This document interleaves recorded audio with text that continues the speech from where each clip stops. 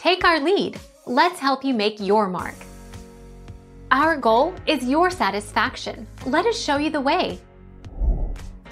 Open the web browser of your choice using your computer or laptop.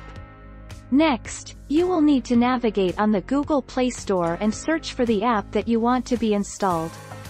Click on Install if you do not have the app in your current device. You will then need to sign in to your Google account.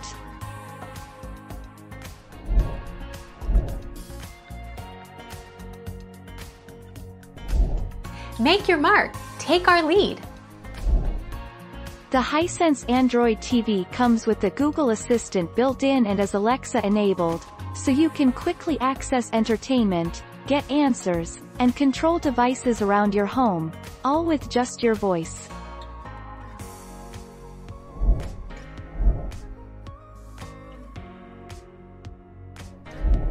Make your mark. Take our lead. First, click Install, then choose your Android TV from the drop-down menu and click Install. Alternatively, turn on voice commands on your remote and say, Launch Chrome.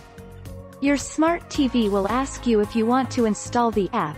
Click Agree, and Chrome will be installed and ready to use in a few seconds. Thank you for watching. Please subscribe and hit the bell notification.